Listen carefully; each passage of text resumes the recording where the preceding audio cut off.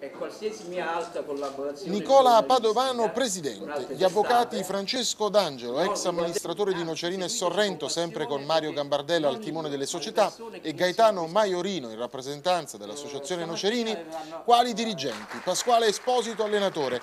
Marco Mattiello, responsabile della comunicazione. Sono questi i primi punti fermi della nuova realtà calcistica delle due Nocera.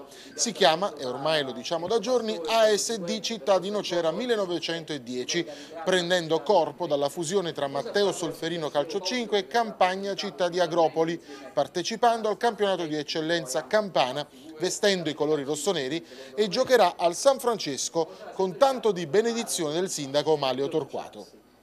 L'ASD Città di Nocera ambisce a diventare una polisportiva che accolga non solo il calcio ma anche altre discipline. Sulla strutturazione completa di questo neonato sodalizio si comincerà a lavorare da domani con altri incarichi che saranno decisi e affidati. Poi si darà il via alle trattative di calciomercato con la costruzione della squadra che verrà.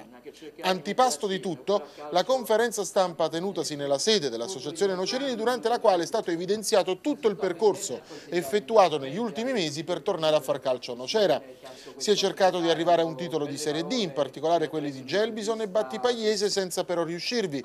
Poi le mire si sono spostate sull'eccellenza, dapprima con un discorso aperto con la Scafatese, ma qui il patron Vaiano ha sempre posto mostrato evidenti resistenze a cedere, quindi col città di Agropoli, che in realtà è il Campagna, affrontato l'anno scorso pure dalla ASG Nocerina Calcio la squadra per eccellenza delle due Nocera sulla carta, investita però negli ultimi anni da molteplici problemi. E proprio da questo club sono arrivate le novità che non ti aspetti.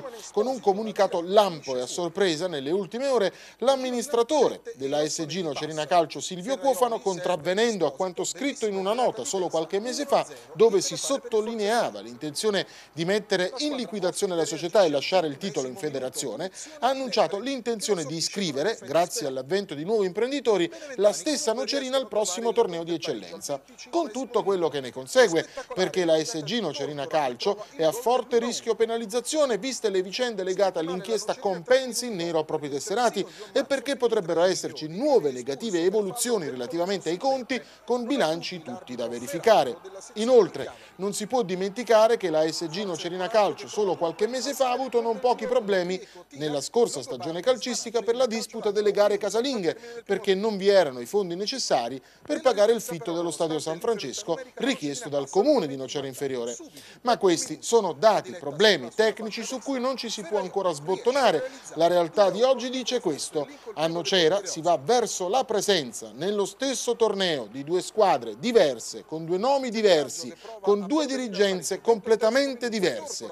E i tifosi chi seguiranno? Chi sosterranno? Come si comporteranno? Quando la squadra sannita ha l'occasione veramente giusta per fare 2 a 2, ma Russo non...